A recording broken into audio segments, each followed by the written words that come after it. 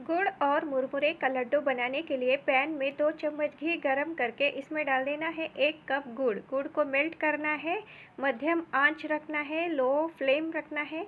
इसको ऐसे मेल्ट करने के बाद इसको एक बार चेक कर लेते हैं। ज़्यादा कड़क चाशनी नहीं बनानी है हमें। इसकी सिर्फ़ गोली बनानी है। गोली बन चुकी है। अब इसमें ऐड करते हैं मुरमुरे।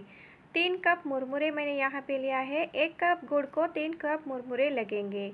अगर आप ज़्यादा मीठा खाते हो तो थोड़ा गुड़ की मात्रा बढ़ा सकते हो।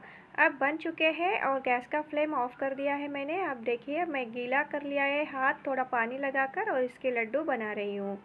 ऐसे ही गोल गर्मा गर्म लड्डू बनाना है। ठंडा होने के बाद लड्डू नहीं बनेंगे।